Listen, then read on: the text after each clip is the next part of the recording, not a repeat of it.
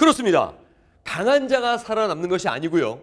살아남는 자가 강한 것입니다. 수능은 극복을 하려 하는 자세부터 시작되는 것이야. 그래서 이 수능을 향한 이 몇 개월간의 준비 기간이 우리에게 있는 것이고 이 기간을 효과적으로 최대한 활용을 해야 됩니다. 어, 드디어 우리 버전 실전 모의고사 자 모의고사 시작됐습니다. 이 버실모에 대한 퀄리티는 아마 여러분들 뭐 선배라든가 주변의 소문으로 충분히 알 수 있을 것이고 어 선생님 자부합니다. 그리고요 어 지금부터가 final입니다. 네, 이 버실모 강합니다. 빡빡합니다. 각오하고 들어오시 바랍니다. 왜? 보통 이제 뭐 우리가 1년의 기간, 준비 기간에서 뭐 1차 모의고사, 2차 final 모의고사 이렇게 진행을 하는데 처음엔 좀 쉬운 문제로 하다가 점점 이렇게 좀 뭔가 우리 고급스럽고 수능스러운 이런 문항으로 진행한다고 하는데 아니더군요. 결국 나중에 9월, 10월에서 final 시기라 해서 갑자기 문제 만나고 당황합니다. 그래서 지금부터 강하고 빡세게 준비하겠습니다. 자, 그러므로 어, 어느 정도 전범위에 대한 개념이 준비가 되었고 또 혹은 우리 함께 스페셜 골드 개념 강좌가 자 마무리 되신 분들 자 그리고 중요한 것은 극복하려 하는 그런 의지를 가진 자만이 함께 하자라고 말씀드리고 싶어요. 왜? 여기서 점수 뭐 틀렸다 틀렸다 어 난 아닌가벼 그러면 안 돼요. 지금은 너무도 당연합니다. 예를 들어서 50점 만점에 20몇 점? 네! 그 과정을 극복하면서 밟아 나가는 것이 버실모의 목적입니다. 그렇기 때문에 여기서는 절대 오해하지 마. 이 버실모는 자신의 실력을 테스트하는 그런 시험이 아닙니다. 어, 내가 현재 위치가 어느 정도야. 그게 아니에요. 왜?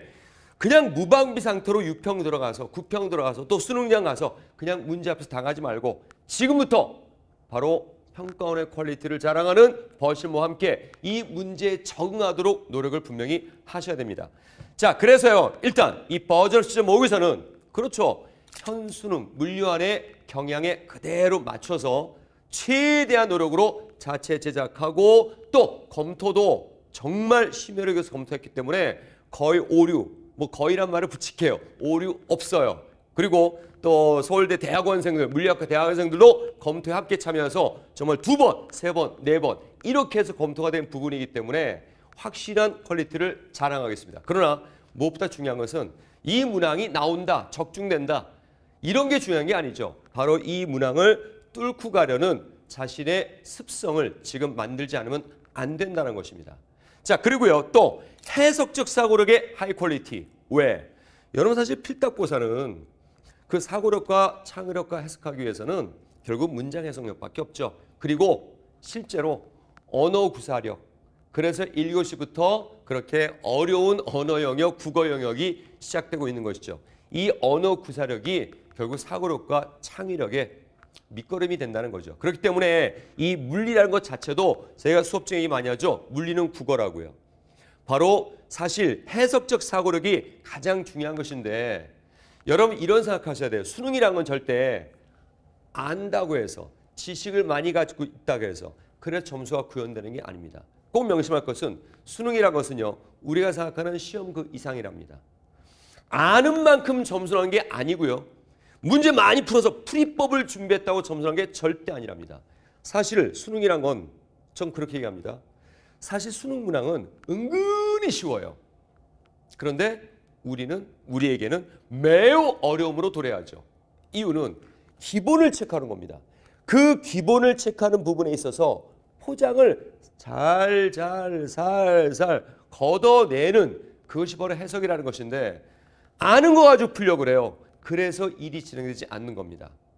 결국 이 버시모도 해석적 사고력을 최대한 담아놨고요. 또한 지금 우리 이 교과에 대한 마지막 수능이죠. 그래서 기출에서 이미 다뤄질 것 예, 대부분 다 나왔습니다. 하지만 아직도 기출 풀이에 소모적 풀이에 매달려서 기출에 나온 데 불구하고 그냥 문제 한 풀어왔다. 풀이법에 얽매다 보니까 같은 설정이 나오더라도 우리가 해결하지 못한 일이 벌어집니다. 그래서 바로 기출에서 바라본 예고의 문항들 어차피 돌고 도는 겁니다. 그 안에서 진행되는 얘기들입니다. 그래서 기출에서 다시 한번 이제 재구성 출제를 해봤고요. 또 우리가 이제 EBS 교재, EBS가 되도록 하자라고 말씀드리죠. 그 이 교재 속에 문제 설정 속에 녹여져 있는 설정 끄집어내서 문제로 탄생을 시킵니다. 여러분들 이 수특이나 수학 교재 같은 경우야 문제가 그대로 나오는 건 아니죠. 그 안에 들어있는 설정을 가지고 진행이 시작되는 겁니다. 그래서 이러한 해석적 사고력과 기출 그리고 또 EBS 교재 속에 숨어 있는 설정들을 이용해서 문항을 만들었고요. 난이도를 좀 굳이 얘기한다면 음, 절대 여러분 선 얘기할 때 이거 명심해 절대 꼬아내지 않습니다. 그 다음에 자기가 틀려놓고 꼭 그 부분은 지역이다. 그 부분은 수험, 수능 점수가 지역이 되는 겁니다. 아니 교과서 내에 있는 내용이 왜 지역입니까? 교과서 내에 있는 구석구석 이런 거 몰랐지 이런 거 아니야. 이런 거 몰랐지 이게 아니란 말이다. 딱 교과서의 핵심에 있는 내용을 그대로 출제해서 문화화시킨 건데 이것을 자기가 접하지 못했다 그래서 지역이다 이런 말하면 안 되겠죠. 뭐 작년에 예를 들면 작년에 너무 쉬웠죠. 그러다 보니까 오히려 쉬우면요 만점 받기 어렵습니다. 물론 전국의 만점자들은 많았지만 오히려 평소에 물리를 잘한다고 생각했던 분들이 더 많이 당했습니다. 왜? 이런 부분들을 소홀히 하는 경우에 이런 일이 발생하는 것입니다. 그래서 예를 들어서 13번이었나요? 그 핵발전에 관한 얘기가 있는데 많이 다루지 않았다 이거죠. 그리고 이런 문제 만났으면 지역이다. 이런 말 하면 안 되는 겁니다. 왜? 풀었던 맨날 시중에 떠도는 그런 문제들만 바라보다 보니까 그냥 자기도 모르게 문제를 외웠는데요. 어, 이 정확한 교과 내용인데 나왔을 때 자기가 본 게 아니다. 라고 했을 때 이거를 지역이란 말을 쓰면 안 되겠죠. 그래서 결코 지역적인 내용을 만드는 것이 아니고 또 교과의 핵심이면서 반드시 꼭 여름 뚫고 가야 될 그럴 부분들로 자체 제작된 그런 문항으로 이루어졌기 때문에 사실 이것은 어, 6평이나 9평의 난이도에 곱하기 한 1.3 내지 4를 하시면 됩니다. 거꾸로 이 버심에 곱하기 0.67을 하면 6평, 9평이 됩니다. 그리고 이런 6평, 9평에 곱하기 0.6으로 하면 난이도가 낮아집니다. 그게 수능이에요. 그러나 정반대로 수능은 체감 난이도가 합치면 오히려 10배 이상의 난이도가 되는 거죠. 자, 이건 이제 뭘 얘기하는 거냐? 쉬운 문항이지만 그 긴장감 속에 갖춰진 실전 가서는 굉장히 당황스럽죠. 그래서 연습도 준비할 때도 빡빡하게 하셔야 돼요. 빡빡하고 강하게 하셔야 됩니다. 그 난이도에 맞춰서 했다가는 당하는 겁니다. 그래서 이 버실모는 이렇게 생각하면 돼. 1, 2, 3페이지에 한 문항 정도씩을 즉 세 문항을 쉬어가는 문제로 교체하면 세 문항 정도를 네 문항 내지 세 문항 정도를 쉬어가는 문항으로 교체하면 6평, 9평 난이도다라고 생각하시면 됩니다. 자, 그럼 왜 쉬어가는 문제를 많이 만들지 않았느냐? 우리 비싼 시간, 비싼 수업료 들어가면서 비싼 공을 들여가면서 준비하고 있는데 그냥 그저 그런 문제 만나면 안 되겠죠. 최대한 여러분들에게 정말 필요한 양질의 문제를 만날 수 있도록 또 한 가지 목적은 빡빡하게 준비하라고. 그래서 여기는 30분이 원래 우리 시험 시간 제한 시간이지만 우리는 40분 제한 시간으로 지금 준비합시다. 그것도 빡빡할 겁니다. 자, 이렇게 준비를 하였고요. 특히 자, 매뉴얼. 물론 제가 뒤에 수업 활용을 위한 수업 활용 OT를 따로 또 하나 더 만들겠습니다. 영강 이렇게 해서. 그런데 일단 전체 매뉴얼 좀 말씀드리면 일단 버실모는요. 반드시 정해놓은 날 계획 실시하십시오. 여러분 보통 문제집 풀듯이 하면요. 이거 아무 의미 없어요. 문제집 풀듯이 하지 마시고 스스로 시험이란 긴장된 상황을 만들어 주시고 계획된 날 정확하게 푸시기 바랍니다. 그리고 지금 빨리 풀려 노력하지 마시고 맞추는 연습하시고요. 시간, 제한 시간은 40분. 이것도 빡빡합니다. 해보세요. 그 40분에 맞춰는데 시간 관리에 관한 것도 제가 다음 수업하는 OT에서 말씀을 드릴게요. 자, 그리고 빨리 풀려가지 마. 만약 지금 빨리 풀려 그러면 그 빨리 푸는 연습은 됩니다. 틀려가면서. 중요한 건 맞추는 겁니다. 그래서 정확성이 반복이 되고 정확성, 정확성, 정확성이 반복이 되면서 스피드감은 저절로 생기는 것인데 우리들이 너무나 마음이 조급하니까 빨리 풀려고 먼저 앞서는 겁니다. 먼저 정확하게, 정확하게 지금은 맞추는 연습을 할 때다라는 것입니다. 알겠죠? 빨리 풀려하지 마시고 정확성의 반복이 속도감을 만들어 주는 것이고 그게 우리 1년이라는 수능 준비 기간이 있는 것입니다. 자, 그다음 반드시 정숙이 유지되는 공간. 조용한 공간.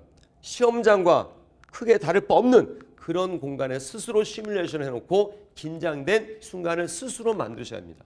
아무래도 이제 현장에서 학원에서 만나서 할 때는 그런 것들이 서로 이제 시험장 분위기가 만들어지면서 하니까 좀 괜찮은데 우리 인터넷 우리 수강생 여러분들은 어쩔 수 없으니까 스스로 정숙 유지 공간에서 정확하게 OL마 카드도 있으니까 봉투 속에 있으니까 컴사 이용해서 뭐 전산 처리는 안 되더라도 정확하게 찍고 이 OLR 카드를 작성하는 시간도 40초에서 50초는 소모가 된답니다. 자, 이런 부분들까지 세세하게 된 다음 강의 수업 활용 OT에서 말씀을 드릴 것이고요. 또 이제 문제를 풀고 나면 어, 봉투 안에 들어있는 시험지에 제일 마지막 회차에 정답이 있습니다. 정답 맞춰 보시고 그 다음 바로 강의 듣지 마시고요. 물론 가슴은 쓰라리겠죠. 스스로의 숙성 기간이 필요합니다. 뭐 시간, 기간이라기보다 그래서 스스로 한번 문제를 다시 한번 바라보면서 추적을 해보세요. 그 다음에 무엇보다 이번에는 야심차게 선생님이 손글씨 해설지를 함께 동봉했습니다. 그래서 자신이 푼 거를 보고 그리고 또 스스로 추적해보고 선생님의 해설지도 확인해 보시고 거기 아주 여러분 보기 좋게 어, 그 문장의 띠기를 언더라인 치면서 강조사항, 생각해야 될 것들, 생각의 순서 이런 거 모두 갖춰서 해놨으니까 선생님 손글씨 해설지 확인하시고 그리고 나서 이제 지상 최고의 해설 강의를 만나는 겁니다. 그래서 이 해설 강의를 어, 들으시고 이후에 아 그래 이건 이렇다 저건 저렇다 스미님 강조를 많이 할 겁니다. 그리고 또 해설 강의에 있어서 그 사이사이 제가 어떤 특수한 테마가 좀 필요하다면 그 테마에 대한 정의도 좀 해드리는 그런 강의를 진행해드리겠습니다. 그 다음 이제 무엇보다도 중요한 것은요 자신의 공부죠. 자 이렇게 해설강의까지 끝나고 나면 이제 반드시 스스로의 수업 대세겜 리뷰 노트를 즉 우리 개념 강좌에서 말씀드리는 백지 복스프 그걸 반드시 하셔야 됩니다. 선생님이 설명하듯이 그림을 그려놓고 그림만 그려 텍스트 같은 거 글짓기 하지 마. 글 쓰지 말고 그림만 딱 그려놓고 이건 이거고 저건 저렇다 이건 이렇다. 스스로 설명하는 연습이 반드시 꼭 돼야 돼요. 이 수업 대세겜 리뷰 노트 반드시 꼭 정리하시 바라고 이것도 자세하게 제가 수업 활용 OT에서 말씀을 드리겠습니다. 자, 이렇게 해서 이제 OT 빨리 짧게 하고 또 수업 활용 영상 OT도 해드리고 그리고 이제 1회 강의부터 진행할 테니까 여러분 끝까지 파이팅 하시 바라고 힘들더라도요 끝까지 힘들더라도요 끝까지 확인하시고 매진하시고 정진하셔야 합니다.